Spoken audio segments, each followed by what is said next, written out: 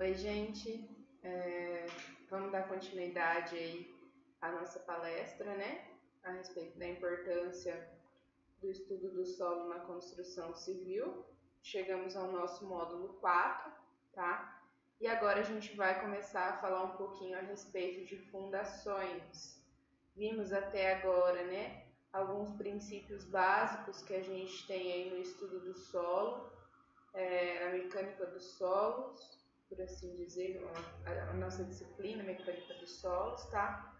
Vimos aí um pouquinho de tensões atuantes no solo, a respeito de como a água é, trabalha aí a depender da constituição do solo que eu tenho, se eu tenho um solo mais grosso, se eu tenho um solo mais fino. Vimos alguns métodos diretos de investigação, falamos bastante aí da sondagem SPT, né, muito importante. É, dentro do ramo da construção civil. E hoje a gente vai começar a falar um pouquinho uh, de fundações rasas. Fundações rasas eu optei em abordar para vocês, tá? Um pouquinho a respeito de como que eu faço para determinar a capacidade de carga do meu solo, relacionando isso com a capacidade de carga admissível, a minha tensão admissível, tá? Depois disso, a gente vai ver algumas determinações de recalque nessas minhas fundações rasas, como que eu calculo o meu recalque na minha fundação. E por último aí, é, como determinação dessa minha capacidade de carga, é, e essa determinação conhecendo né, esses meus recalques limites, eu vou resolver um exemplo bem básico, tá? É, de dimensionamento de sapata como é feito. Um exemplo bem simples, só para uma noção básica mesmo, é, de, que é feito esse tipo de dimensionamento. Tá?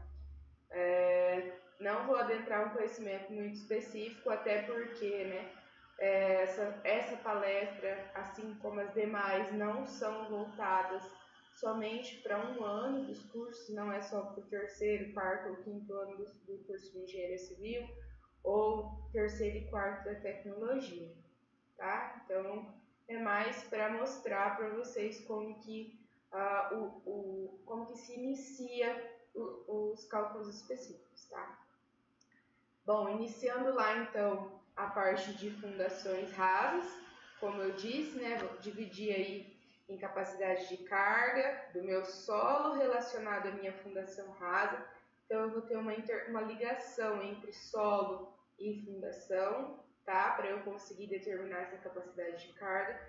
É, a depender do dimensionamento dessa minha fundação rasa, a capacidade de carga desse meu solo é diferente, tá?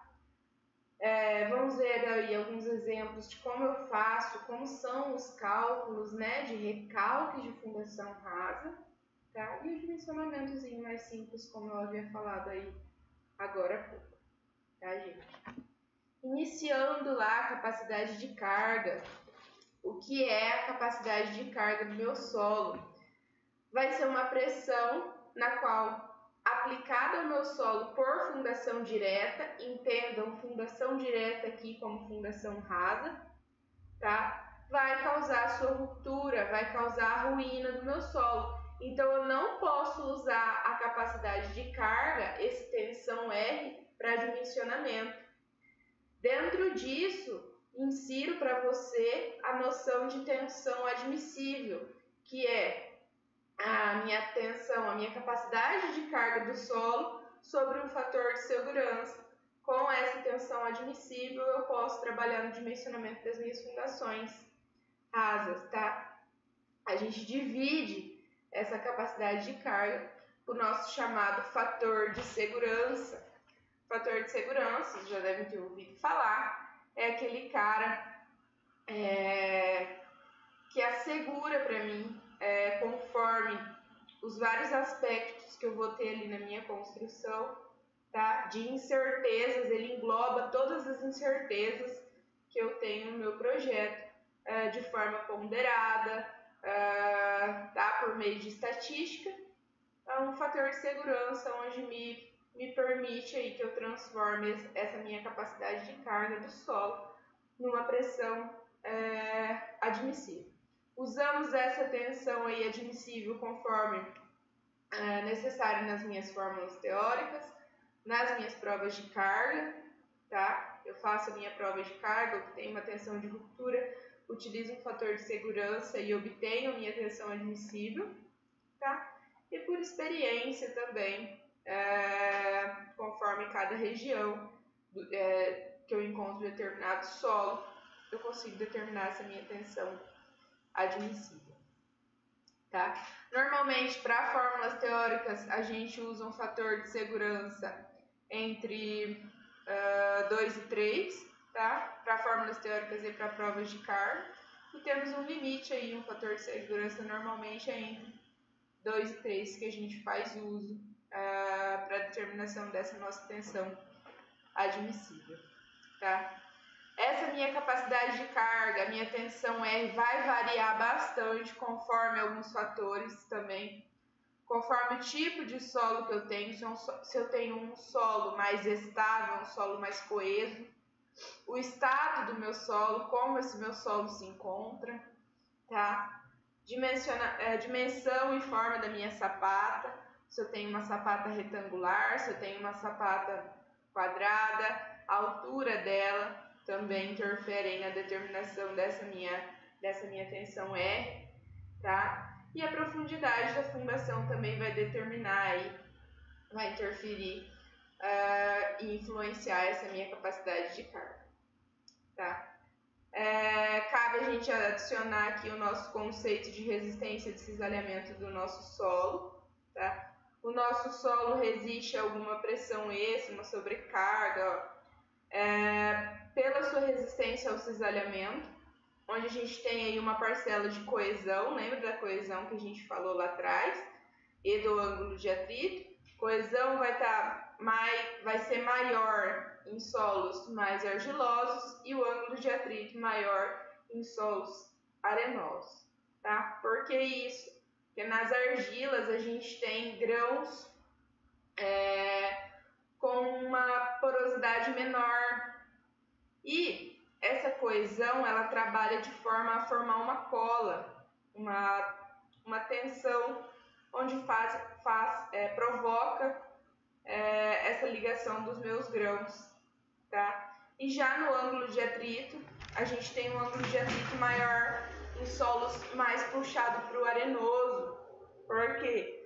Porque quando eu tenho uma partícula de solo maior, o meu atrito, consequentemente, vai ser maior. Então, por isso que eu tenho em, em solos mais arenosos, onde a gente observa a predominância de, de grãos maiores, né? Um ângulo de atrito, é, logicamente, vai ser maior também.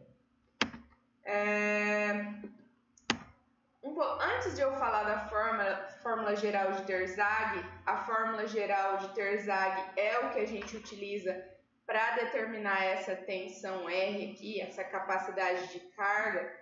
Cabe eu, eu falar antes, né? Porque depois a gente vai observar que para cada caso desse aqui, ruptura geral eu uso a fórmula de, uma, de um jeito e ruptura local eu uso a fórmula de outro jeito, tá? Então, vocês vão ver que vão ter tabelas distintas para a ruptura geral e, uma, e tabelas diferentes também para a ruptura local, tá? Tá, mas o que é ruptura local e o que é a minha ruptura geral? A ruptura geral, ela tá ligada a quando realmente ocorre a ruptura do meu solo, tá? Então, é esse meu dimensionamento de tensão R para o caso de ruptura, para o caso de ruína do solo. E no caso da ruptura local, é, tem mais a ver com uma, um processo de deformação excessiva, ocorre em solos mais deformáveis. É semelhante àquele conceito que a gente tem lá em resistência dos materiais, tá? Se eu tenho uma ruptura geral, o solo não me alerta disso como uma deformação excessiva, tá? Ele simplesmente rompe. E já na ruptura local, eu já consigo visualizar isso porque o meu solo é bastante deformável. Então a gente tem aí para a ruptura geral um solo mais rígido e para a ruptura local um solo mais, uh, mais deformável. Então aí para a ruptura geral a gente tem as argilas, mais compactas, né? De, desde rígida até a mais dura e para solos deformáveis, mais as areias fofas ou até mesmo argilas moles ou médias, tá? Então é dessa forma aí que a gente subdivide a nossa fórmula geral de Terzag. Vocês vão compreender isso melhor quando eu mostrar para você é, a nossa tabelinha, as tabelinhas que a gente utiliza para fazer esse cálculo, para fazer o cálculo da nossa fórmula geral de Terzag, que determina a minha tensão R, que eu já falei que é a minha tensão de ruptura do meu solo. Tá? É, essa é a fórmula geral de Terzag para solos rígidos, ou seja, ruptura geral, tá? Solo não me avisa, eu não tenho nenhum tipo de, de deformação aparente de que vai ocorrer uma ruptura, tá? Então, essa, essa fórmula geral de Terzag é a fórmula que a gente utiliza para determinar a tensão R, tá? Bem repetitivo mesmo, porque é muito importante dentro de fundações rasas. É, dentro dela tenho uma parcela de coesão, uma parcela de sobrecarga e uma parcela de atrito, tá? Observem aí é, essas minhas incógnitas que eu tenho, tá? Na parcela de coesão eu vou multiplicar pelo meu coeficiente da capacidade de carga e por um fator de forma relacionado à coesão. É, depois para sobrecarga, um coeficiente de capacidade de carga relacionado à minha sobrecarga e um fator de forma também relacionado a ela. E eu também vou ter a minha parcela de atrito, onde eu vou precisar multiplicar aí pela minha menor dimensão da sapata, tá? É, pelo meu peso específico do meu solo, que aparece ali também, e pelo coeficiente de capacidade de carga e por um fator de forma relacionado ao peso específico do meu solo, tá? Vocês vão ver que a gente pode subdividir mais para frente. Essa fórmula ela é dividida em solos rígidos, ruptura geral, e em solos mais fofos, mais moles, ruptura local, tá? Então, esse é o caso de utilização da fórmula geral de Terzag para ruptura geral.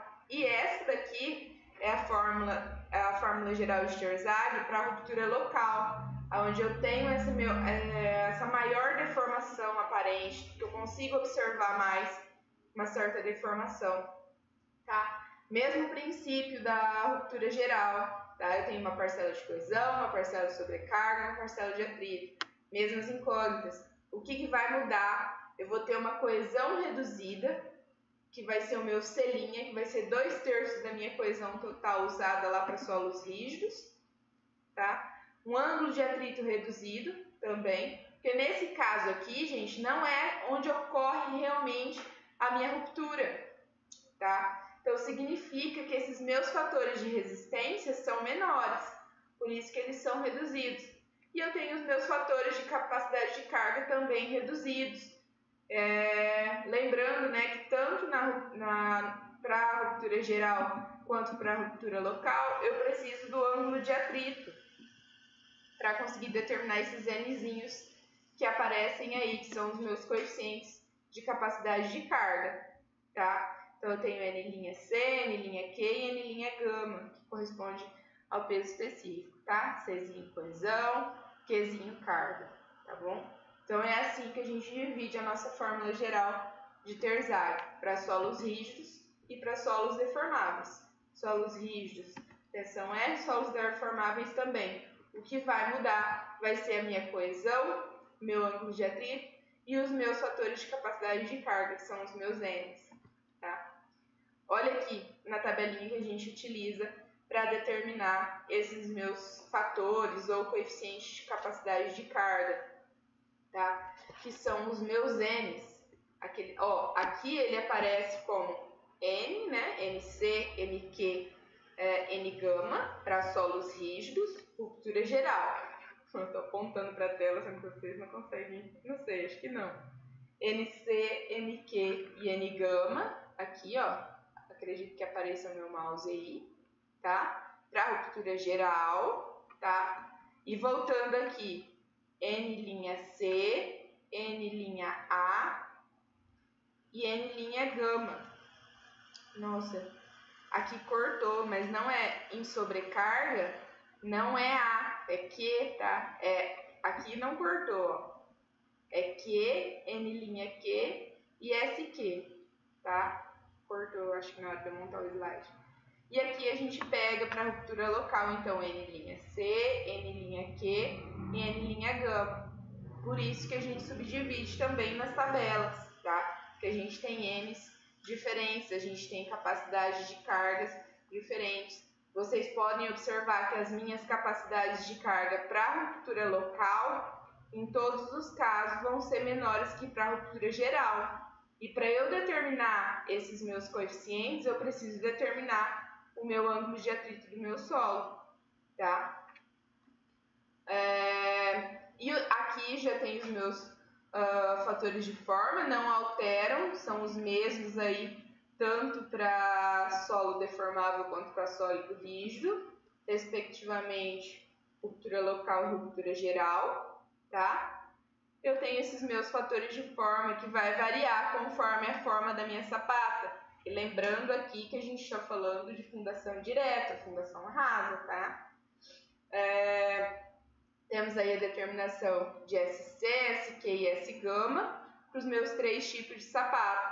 Se eu tenho uma sapata corrida, quadrada ou circular. No caso de eu ter é, sapatas retangulares, com esse caso em específico aqui, L maior que B, ou entre 3B e 5B, eu posso utilizar aí, uh, eu admito, né, fatores de forma para essa minha sapata. Lembrando que B é a menor dimensão uh, da minha sapata e L é o comprimento dela, tá, gente? Por isso que a gente utiliza aqui essa regrinha para sapatas retangulares.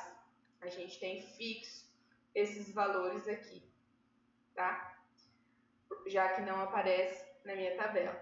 Então, uh, para determinar os meus coeficientes de capacidade de carga, venho nessa tabelinha aqui, onde apresenta os meus NC, NQ, N gama, N''C, N''Q e N' gama.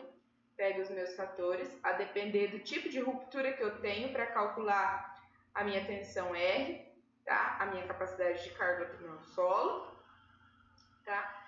E aqui eu pego os meus fatores de forma, que são os mesmos, tanto para ruptura geral quanto para ruptura local, tá? É bem complexo mesmo, é, essas várias tabelinhas que a gente precisa trabalhar aí e analisar os nossos casos separadamente para conseguir fazer o cálculo da minha tensão R, tá? É, além dessas definições que Terzag trouxe para a gente, tem um carinha chamado Skenton, que ele propôs ainda que a gente dividisse a fórmula geral de Terzag é, para argila e para areia. Por quê? Porque se as minhas areias resistem mais pelo ângulo de atrito e as minhas argilas pela minha coesão, significa que nas areias eu vou ter uma anulação da minha coesão tá?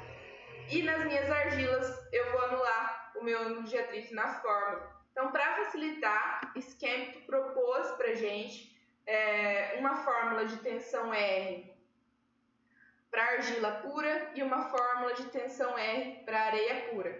Lembrando, gente, que essa fórmula aqui, eu vou utilizar ela que nem tensão R para argila pura. Essa, nesse caso aqui, é para ruptura geral.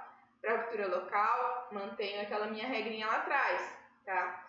Para areia pura, mesma coisa, tenho essa fórmula aqui, mas para ruptura local eu uso o meu, a minha coisa, a minha coesão, nesse caso aqui a coesão é igual a zero, né? Mas eu vou usar os meus N's reduzidos, tá? N, NQ e N gama. Tá? Então ele propôs pra gente essa divisão em argilas puras e areias puras. Por que puras? porque isso me dá a certeza de que em argilas puras o meu ângulo de atrito é zero, porque ângulo de atrito é, uma é um fator que está presente nas areias. Então, se eu tenho uma argila pura, significa que eu não tenho nenhuma porcentagem de areia nessa minha argila. Então, eu me asseguro de que o meu ângulo de atrito é igual a zero. Nas areias puras, mesma coisa relacionado à coesão. Se eu tenho uma areia pura, significa que a minha coesão é igual a zero e que eu tenho predominância de resistência somente é, pelo meu ângulo de atrito. Tá? É, como o que depende do meu ângulo de atrito lá atrás é o meu N, vocês vão ver que nas argilas puras a gente não tem o fator N, ele é igual a zero, tá? Nenhum dos três, beleza? E para as areias a gente tem uma coesão igual a zero, beleza? A gente estabelece aqui que o NC em argilas puras igual a 5,7 tem a dedução completa de toda essa, essa, a, essa definição apresentada aí por Scampton, tá? Mas eu não, é, eu resolvi não abordar ela a fundo aqui, porque eu acreditei que ia ficar muito teórico, muito massivo, tá? Então, Scampton propõe pra gente aí, por meio de suas definições, a divisão de tensão R para argila pura e para areia pura. Esse meu MC ali em argila pura, ele estabelece igual a 5,7, que é quando o meu ângulo de atrito é igual a zero, por isso que ele já fixa esse meu 5,7, tá? É... E o NQ também, o NQ é igual a 1,0, porque é quando o meu ângulo de atrito é igual a zero. Ele estabeleceu e fixou isso, como dá para ver lá nas deduções que ele faz, para facilitar a utilização da fórmula geral. Tá? É... Além disso, finalizada essa parte aí de determinação da capacidade de carga, acredito que deu para compreender bem como que a gente utiliza essa fórmula. Então, por meio dessas equações, dada aí é, valores correspondentes à coesão de um solo, à sobrecarga que eu vou ter e ao atrito, eu consigo determinar essa minha capacidade de carga, tá? É, então a gente consegue ver como desde fundação direta a gente tem uma relação forte com as outras com os outros módulos que a gente viu. A gente precisa conhecer alguns parâmetros do solo para conseguir adentrar em fundações. Por isso que mecânica dos solos é fundamental você obter o conhecimento em mecânica dos solos para compreender fundações, para assimilar a importância é, de mecânica dos solos dentro do dimensionamento das fundações. Tá? É, finalizada essa parte de determinação de capacidade de carga, a gente também tem o nosso chamado recalque em fundações, Recalque, vocês já devem ter ouvido falar, é quando eu tenho aí é, uma alteração, no caso das minhas fundações, elas, elas recalcam, elas, é, elas podem afundar, né? E causar aí futuramente alguma patologia na minha construção acima, de, é, devido aí a um mau dimensionamento, uma falta de previsão, uh, construir uma fundação não adequada àquele tipo de solo, tá? Eu tinha um solo mais mole e eu não sabia disso, eu não previa, eu pulei alguma etapa de investigação do meu subsolo, eu não executei o número de sondagens adequado naquele meu terreno, tá? Isso daí é muito importante porque se eu não executo o que eu tenho em norma, se até o que eu tenho em norma pode me dá uma liberdade de questionamento. Será que no ponto que eu não fiz sondagem é, não existe alguma coisa e tudo mais? Por isso, quando a gente realiza sondagem, a gente é, realiza ali nos pontos onde eu tenho uma maior solicitação de carga normalmente, tá? Pelo menos. Então, onde vem os, onde vem os meus pilares que solicitam maior carga desse, desse meu solo, dessa minha fundação, tá? Então, se eu não executo lá é, a quantidade adequada de sondagens conforme a dimensão do terreno ao qual eu vou construir, a gente tem aí uma quantidade X que varia, a quantidade X de furos de sondagem que varia conforme a área do meu terreno, tá? Então, se eu não executo o que a norma estabelece para mim, pode acontecer, por exemplo, de eu executar um furo uh, acreditar que cheguei na minha rocha mãe, né, onde eu vou apoiar a minha fundação, e na verdade aquilo se tratava de um matacão, que é um bloco de rocha isolado. Construo a minha edificação naquele, uh, construo o pilar de maior solicitação da minha edificação naquele ponto e, obviamente, dentro de um ano ou até menos tempo que isso, tenho aí um recalque é, que vai gerar um custo de reparo gigantesco para mim lá na frente. Por isso que é importante a gente é, conhecer o nosso solo, fazer as nossas sondagens necessárias, seguir o que está estabelecido em norma, porque é a norma que me respalda, tá? Então, adentrando aí nessa etapa de recalque, novamente a gente também subdivide o nosso recalque em é, recalque inicial, recalque por adensamento e recalque por compressão secundária. É, o meu recalque total é a soma de todos esses meus recalques. Tá? Uh, o meu SI vai ser aquele meu primeiro recalque que ocorre no meu solo devido, devido a deformações chamadas de deformações elásticas, tá? Que elas são recuperáveis. E esse meu recalque elástico, ele ocorre justo depois da aplicação da minha carga, tá? E ele é mais importante aí em solos arenosos. Por quê? Porque recalque em solos arenosos ocorre de forma mais rápida do que em solos mais argilosos. Solos argilosos, a gente tem aí uma demora maior, que ocorre o nosso chamado recalque por adensamento, tá? Um tempo maior para esse meu solo recalcar, até porque eu tenho uma menor quantidade de vazios do que em solos mais arenosos, tá? Tenho o meu, meu SA, o meu recalque por adensamento. O meu recalque por adensamento, ele tá mais corresponde aí, é, ele tá mais ligado, né, à minha expulsão de água ou ar dos meus vazios, tá? Vai ser um processo que vai ocorrer de forma mais lenta, e vai depender da minha permeabilidade, do meu K, que a gente viu no nosso módulo passado, no nosso módulo retrasado, tá?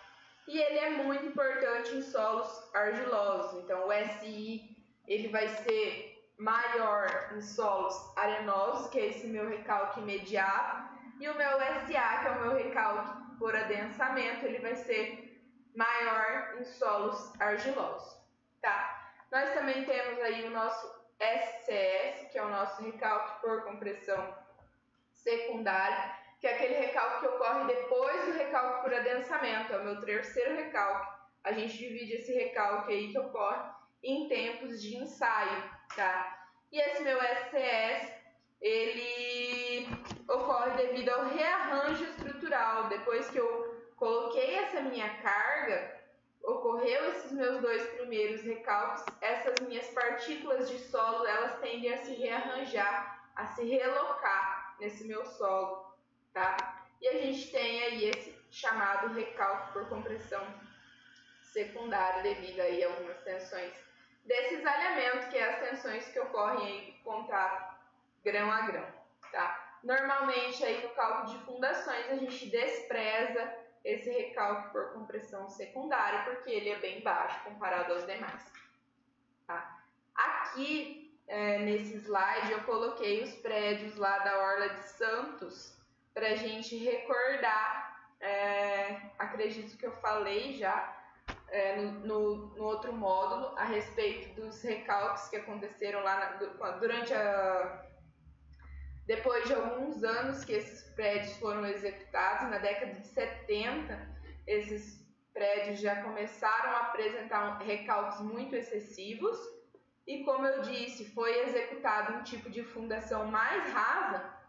Por quê? Porque lá na Orla de Santos, ah, caso fosse ser executada uma, uma fundação profunda, a necessidade é, de escavação seria muito grande, mais de 50 metros de profundidade aí que estariam, que eles encontrariam aí uma estabilidade para fundação profunda.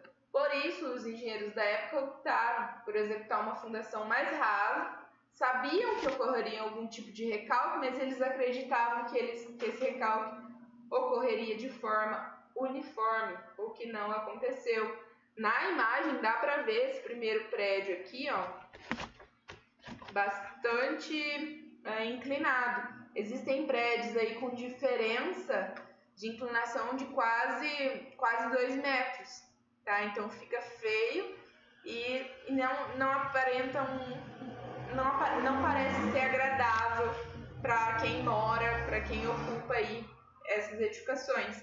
Devido a isso, um doutor da USP é, propôs a recuperação desses edifícios, é, onde foi utilizado macaqueamento hidráulico, onde eram inseridas, levantava, inseriam chapas, é, cerca de 5 milímetros somente por dia conseguia levantar dessas edificações, mas foram recuperadas, deu certo, é, o gasto foi bem alto, mas devido ao prejuízo social que isso gerou aí é, para os moradores, para constru, as construtoras, para as construtoras é, compensou fazer essa recuperação dessas edificações. Tá? É um caso bastante interessante de recalque, tá? É o que acontece, esse deslocamento é, vertical na minha fundação, é que é a definição de recalque, tá? Recalque de fundação, óbvio, que é a matéria que a gente está aqui, tá? E é algo real, né? Algo onde a gente consegue observar que já ocorreu e que caso aconteça em alguma obra, o gasto futuro vai ser grande, o prejuízo vai ser grande, então por isso que é muito importante a gente fazer essas previsões, projetar de forma adequada, conhecer o solo que a gente tem, é, para conseguir é, desenvolver o projeto de fundação de forma adequada, conforme o projeto da superestrutura e tudo mais. Tá? É, introduzindo aí agora é, como o meu recalque de fundação ele vai estar tá intimamente ligado a esses meus recalques de estrutura aí, a gente tem alguns critérios de segurança a seguir, critérios de deformação limite também eu tenho um recalque máximo suportado, tolerado, né? É, que vai me permitir uma certa segurança de que aquilo não vai chegar à ruína, tá? Então eu não posso dizer que eu não posso ter zero recalque, tá? Eu posso ter um recalque limite, é, que é o que a gente chama de critério de deformação limite, que é o máximo de deformação que a minha estrutura suporta. A gente tem deformação gerada aí até mesmo por temperatura, é, por diversos fatores que podem ocorrer aí é, na minha edificação. Então a gente tem essa, essa chamada deformação limite, uma deformação aceitável para o meu recalque. Tá?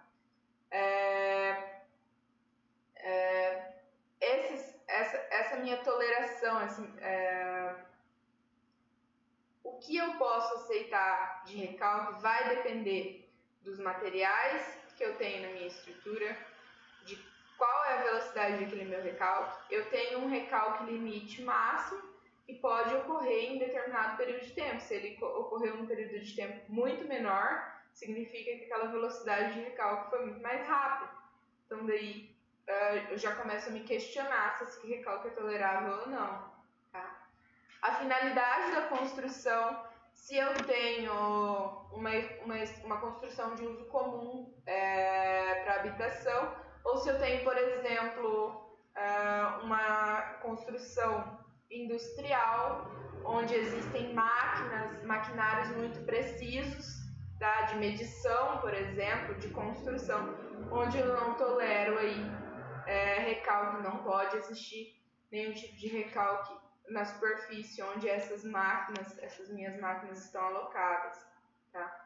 E localização da minha construção também varia conforme a cultura, conforme uh, as regras, as normas de determinada, determinada região, tá? Se eu tenho uma construção aqui no Brasil, uh, o recalque máximo tolerado vai ser um, em outros países vai ser outro tá? Vão ser outros é, recalques tolerados de estrutura. Tá? Por que, que esses meus recalques ocorrem? Além de, desse, do, do dimensionamento de fundação de forma equivocada, digamos assim, né? Esse meu recalque pode ocorrer devido ao rebaixamento do meu lençol freático, ou seja, eu tenho meu lençol freático em determinado nível e eu necessito rebaixar ele, executo é, esse rebaixamento, isso daí gera uma pressão maior no meu solo e, consequentemente, pode vir gerar um recalque nesse meu solo também, tá? Solos muito colapsíveis, solos uh, onde eu não tenho uma estabilidade é, considerável aí para eu executar determinada construção. Escavações adjacentes, como eu falei lá, escavações vizinhas, né? Aquele recalque gerado uh, devido ao alívio de tensão. Então eu executo uma escavação aqui, estou pegando parte do bulbo de tensões ali da minha edificação vizinha isso daí pode, essa escavação pode gerar um recalque nessa minha edificação vizinha e vai dar dor de cabeça para mim futuramente. Vibrações é, devido a algumas máquinas, isso aí pode ocorrer muito em execução de pavimentação é, bem próximos, bem próximo a edificações, casas, é, qualquer construção próxima, que é um maquinário bastante pesado, tá? Então os compressores, é, todo, toda, todo esse equipamento, fre, é, máquina de fresa e tudo mais, tá? Pode gerar para mim uma vibração adjacente e vai gerar é, esse meu recalque nessa minha edificação, tá? Também, claro, né? Escavações de túneis, é, também provoca esse meu chamado alívio de tensões e esse alívio de tensões pode vir ocasionar aí recalque é, em edificações próximas também, tá? E quando eu tenho uma certa dificuldade de estimar esse meu recalque, o solo não é um material linear, então o solo é um material bastante heterogêneo. A gente considera o solo homogêneo para realizar os nossos cálculos, mas o solo é um material heterogêneo ele não é uniforme, dependente das amostras que eu coleto, tá? Eu não tenho a certeza de que todo aquele meu terreno eu vou ter um solo homogêneo. Isso não acontece na natureza, na vida real, digamos assim, na prática, né? É, variação nas minhas cargas que eu previ para a fundação, ou seja, é, quando eu quando eu determino uma carga acidental, né, que são as nossas cargas variáveis, por exemplo, pode ser uma das cargas que eu previ que pode aumentar, tá?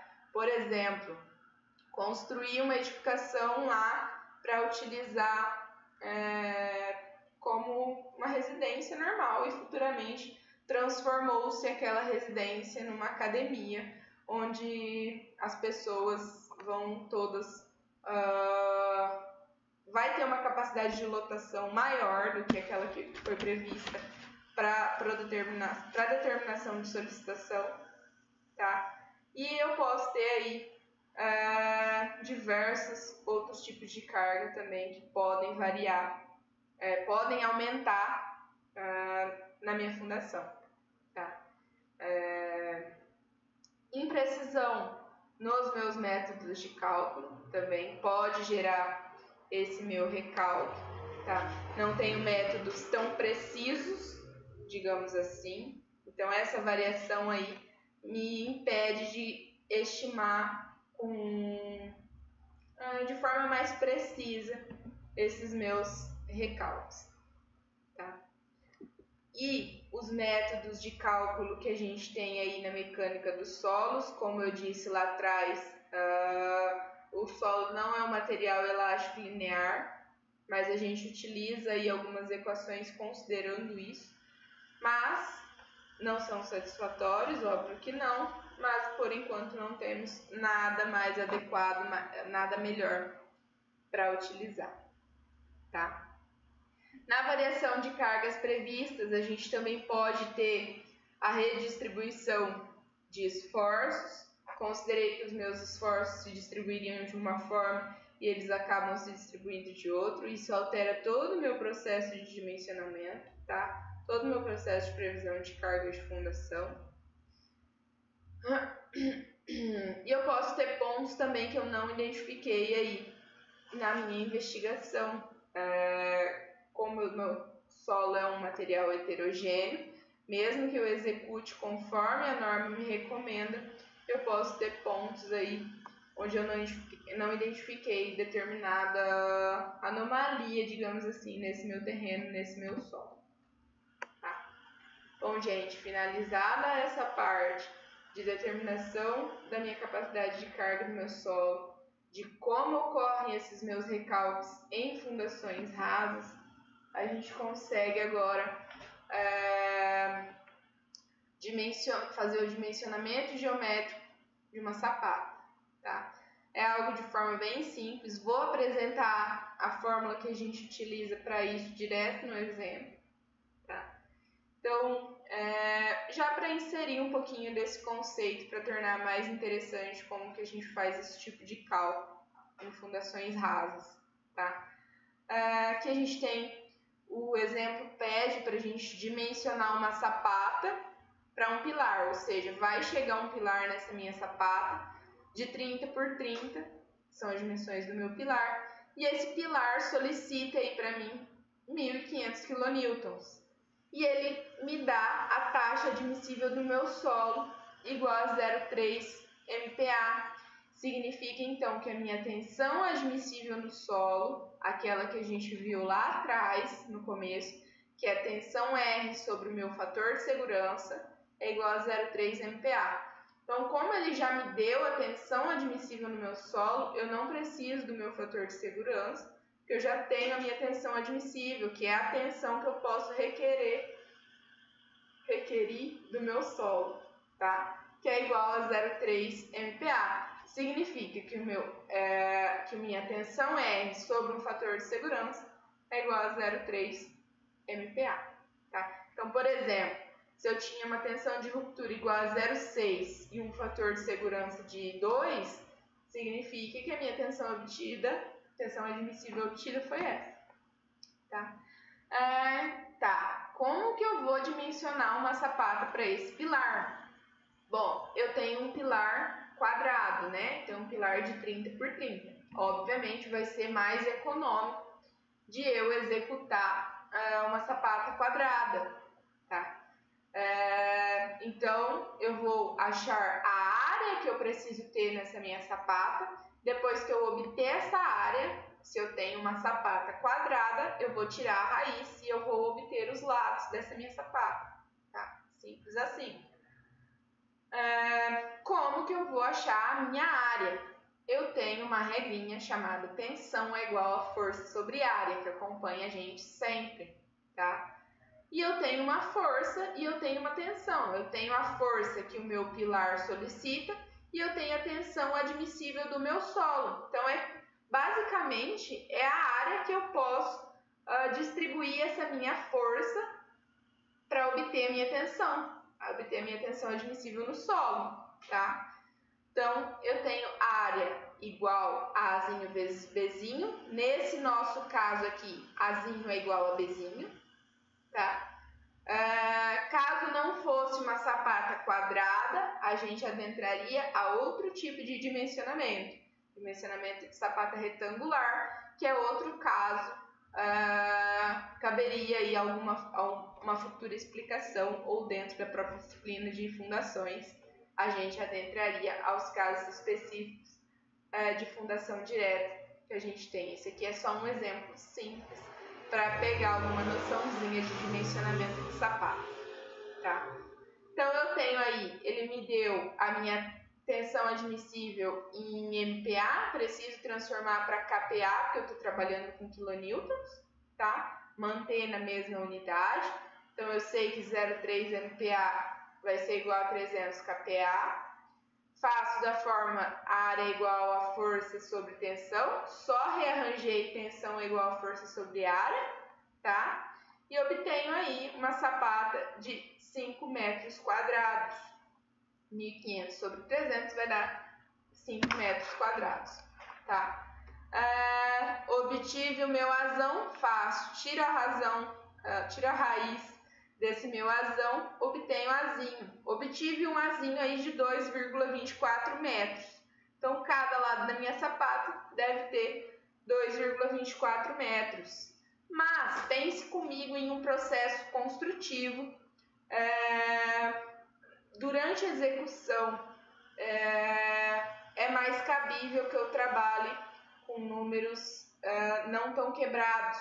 Então, por isso que a gente trabalha uh, na dimensionamento de fundações, arredonda aqui uh, 5 centímetros para cima, sempre, múltiplos de 5 centímetros, arredondo para cima. Então, obteve aí um Azinho igual a 2,24 metros, vou arredondar para 2,25. Se eu tivesse obtido igual a 2,22, também arredondaria para 2,25 metros.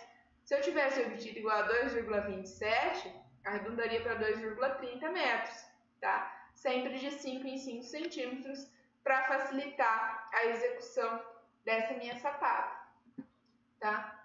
Uh, e aqui a gente tem o desenho de como a gente faria aí, implanta essa minha sapata, gente. Então essa é a planta de uma sapata, então você está olhando de cima, tá? Aqui, esse quadradinho interno aqui é o meu pilar 30 por 30. Tenho uma borda aqui para iniciar a minha sapata de 2,5 centímetros, tá? Que a gente adota para dar início à execução dessa minha sapata, para é, garantir uma maior segurança também, tá? E aqui a minha sapata com 2,25 metros, aqui está 225 centímetros, mesma coisa, por, do, por 225 centímetros, tá?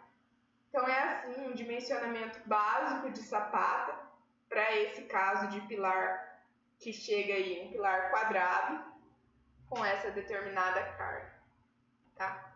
Bom, gente, era isso que eu tinha para passar a respeito de fundações diretas. Sendo assim, finalizamos é, o nosso penúltimo módulo aí da nossa palestra, tá? É, o último módulo vai ser de funda a respeito de fundações profundas, vou fazer da mesma forma. Qualquer dúvida aí, estou uh, à disposição, tá? É, vou deixar o meu e-mail no, uh, no questionário que eu vou disponibilizar, ou aqui no Moodle, de alguma forma, tá? Vai estar disponível aí caso alguém tenha alguma dúvida, caso deseje entrar em contato para sanar qualquer tipo de dúvida, tá? Ou caso tenha dúvida e alguma resolução do questionário também. Bom, era isso. Nos vemos no próximo módulo a respeito de fundações profundas.